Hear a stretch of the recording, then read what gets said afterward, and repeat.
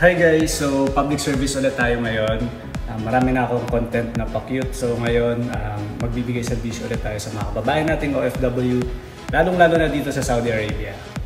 Para sa mga kababayan kong OFW, non-OFW, kapamilya, asawa na nandito sa kaharian at pauwi ng Pilipinas, isa sa mga requirements ninyo pagpapasok na kayo ng bansa natin is ang vaccination certificate.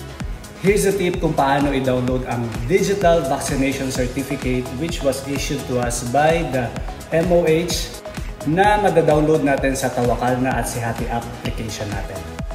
Based sa information na na-receive ko, you have to download the vaccination certificate in Tawakal na and of course the Sihati application.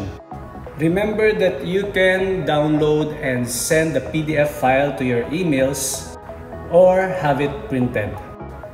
This is most important sa mga kababayan kong pa-exit na especially this year at wala nang planong bumalik dito sa kaharian.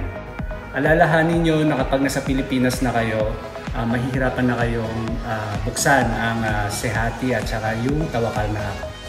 Because most of the time, nagre-refresh ang Tawakal na at nalalag out kayo. And once na nalag out kayo at hinanapan kayo ng verification code na isa-send sa mobile numbers ninyo, mahihirapan na kayong buksan ito ulit.